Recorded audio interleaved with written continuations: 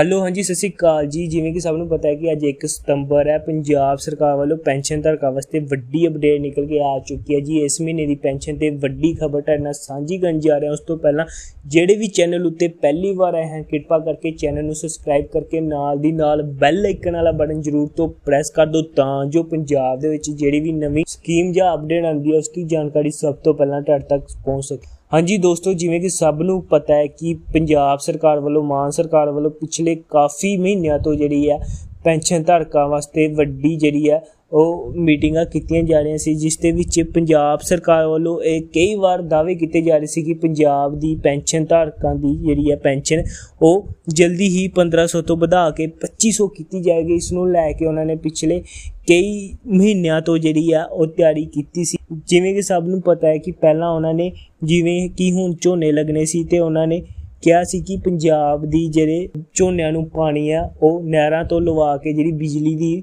ਬਚਤ ਕੀਤੀ ਜਾਏਗੀ, ਜਿਸ ਦਾ ਜੋ ਵੀ ਮੁਨਾਫਾ ਹੋਏਗਾ ਉਸ ਨੂੰ ਜਿਹੜੀ ਹੈ ਪੈਨਸ਼ਨ ਧਾਰਕਾਂ ਦੀ ਪੈਨਸ਼ਨ ਵਧਾ ਦਿੱਤੀ ਜਾਏਗੀ। ਉਸ ਤੋਂ ਬਾਅਦ ਉਹਨਾਂ ਨੇ ਫਿਰ ਤੋਂ ਜਿਹੜੀ ਹੈ ਸਾਰੇ ਪੈਨਸ਼ਨ ਧਾਰਕਾਂ ਦੀ ਵੈਰੀਫਿਕੇਸ਼ਨ ਕੀਤੀ ਹੈ।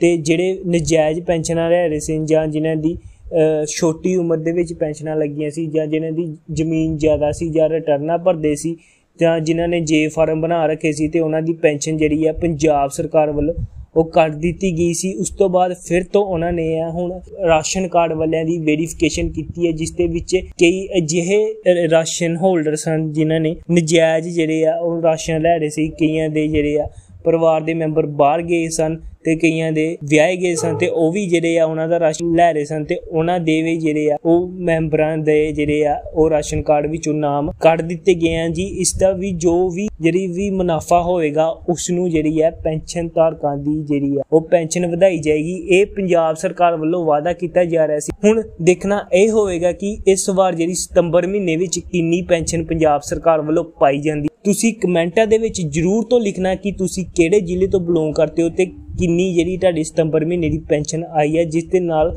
ਬਾਕੀ ਲੋਕਾਂ ਨੂੰ ਵੀ ਜਿਹੜਾ ਵਾ ਫਾਇਦਾ ਹੋ ਸਕੇ ਅਤੇ ਕਮੈਂਟਾਂ ਦੇ ਵਿੱਚ ਭਗਵੰਤ ਮਾਨ ਸਾਹਿਬ ਨੂੰ ਟੈਗ ਕਰਕੇ ਨਾਲ 2500 ਪੈਨਸ਼ਨ ਕਰੋ, ਜਰੂਰ ਲਿਖਣਾ ਜੀ, ਜਿਸ ਦੇ ਨਾਲ ਵੱਧ ਤੋਂ ਵੱਧ ਜਿਹੜੀ ਹੈ ਵੀਡੀਓ ਭਗਵੰਤ ਮਾਨ ਸਾਹਿਬ ਤੱਕ ਪਹੁੰਚੇ ਤੇ ਪੰਜਾਬ ਸਰਕਾਰ ਆਪਣਾ ਵਾਅਦਾ ਪੂਰਾ ਕਰੇ, ਪੈਨਸ਼ਨ ਧਾਰਕਾਂ ਦੀ ਪੈਨਸ਼ਨ 1500 ਤੋਂ ਵਧਾ ਕੇ 2500 ਕੀਤੀ ਜਾਏ ਤੇ ਵੀਡੀਓ ਨੂੰ ਵੱਧ ਤੋਂ ਵੱਧ ਸ਼ੇਅਰ ਕਰੋ ਤਾਂ ਜੋ ਉਹਨਾਂ ਤੱਕ ਇਹ ਵੀਡੀਓ ਪਹੁੰਚ ਸਕੇ। ਇਹੀ ਜਾਣਕਾਰੀ ਸੀ ਜਿਹੜੀ ਮੈਂ ਤੁਹਾਡੇ ਨਾਲ ਸਾਂਝੀ ਕਰਨੀ ਸੀ ਜੀ। ਮਿਲਦੇ ਆ ਨਵੀਂ ਹੋਰ ਵੀਡੀਓ ਦੇ ਵਿੱਚ। ਤਦ ਤੱਕ ਲਈ ਸਤਿ ਸ਼੍ਰੀ ਅਕਾਲ ਜੀ।